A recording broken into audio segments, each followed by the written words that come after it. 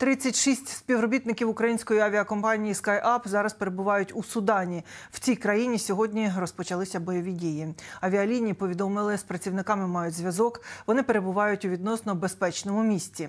Два літаки SkyUp стоять на литовищі у місті Хартум. Компанія повідомила про е, що спрацювала е, про спрацювання аварійного радіобуя на одному з бортів. Водночас у соціальних мережах поширюють відео з аеропорту. Ймовірно, на ньому палає один із літаків українського перевізника.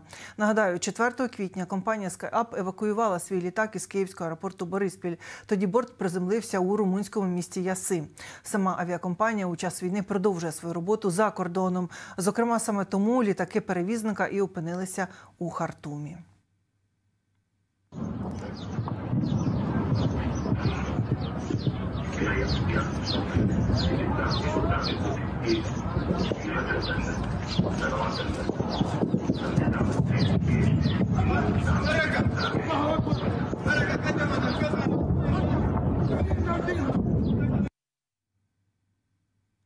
Паски для бійців ЗСУ напередодні Великодня командувач об'єднаних сил Сергій Наєв відвідав позиції військових, які захищають кордони України на півночі. Він особисто передав захисникам обрядовий хліб та розділив із ними святковий стіл. Боже ласкою, прийдеться нам так, Христовом вийти, боротися.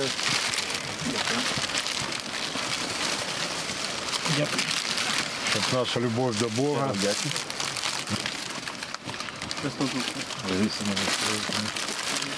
Да. Я щиро дякую кожному з вас за ваш солдатський труд і за все те, що ви робите тут, у віреній вам е, ділянці на віреному вам опорному пункті. Щиро дякую. За святом вас.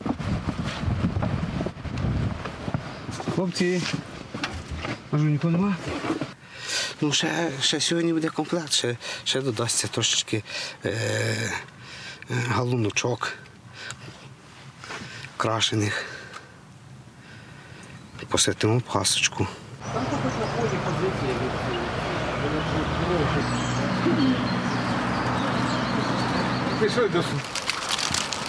Давайте. О, Молодший,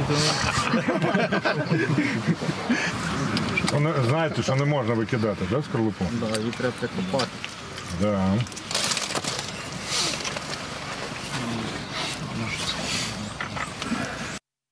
Кока-коли. В Єрусалимі зійшов благодатний вогонь, символ Воскресіння Ісуса Христа. Церемонія традиційно відбувається у Велику Суботу напередодні Великодня. Побачити диво сходження благодатного вогню зібралися тисячі паломників зі всього світу. Спочатку навколо каплиці гробу Господнього відбулася хресна хода.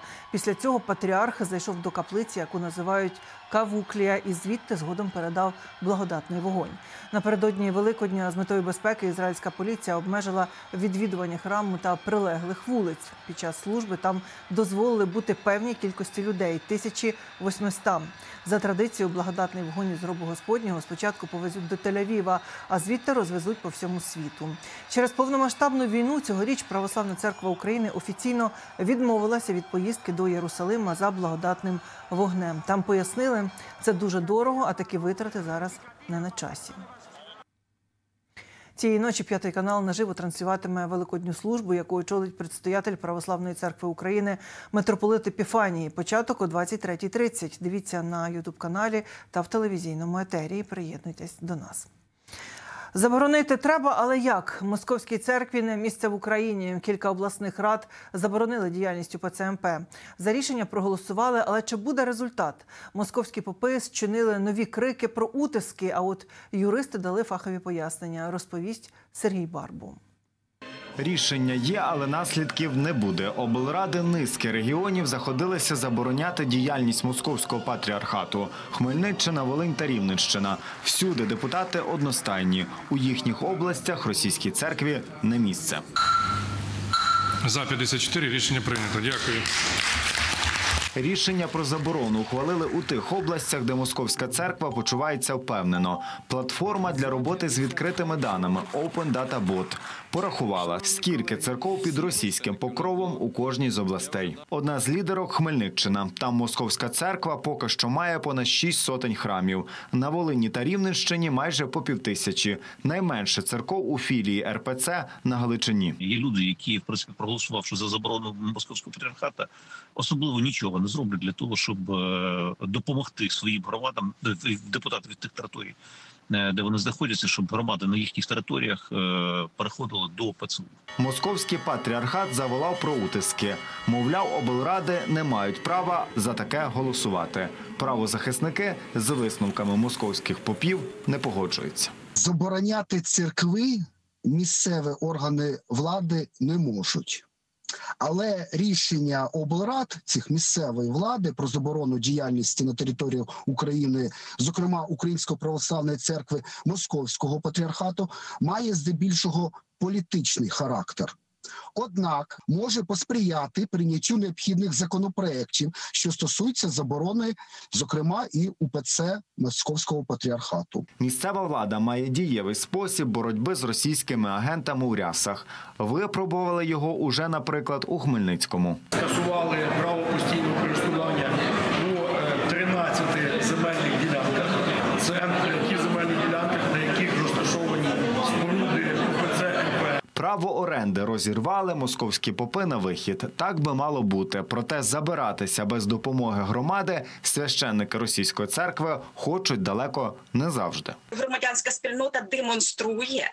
Демонструє, що місце такої інституції, яка працює в інтересах Кремля за межами української громади і української держави, і це дуже добре. Зрештою, вони повинні зрозуміти, і це демонструється те, що це не церква українського народу, як вони себе постійно називають і обзивають. Насправді ця церква є ворожим ем, механізмом всередині ворожою зброєю всередині української громади. І діє ця зброя подекуди дуже хитро. Московські попи або їхні спонсори іноді примудряються приватизувати чи землю під церквою, чи навіть сам храм. І тут громаді діяти вже важче. Судові перипетії можуть тривати роками. Це колись було зроблено для того, щоб е, е, захистити ці громади від своїх єпископів, від свавілля єпископів. Причому це практикувалося е, в різних юрисдикціях, і в УПЦ, і е, тоді ще в Київському патріархаті, і, і, і так далі.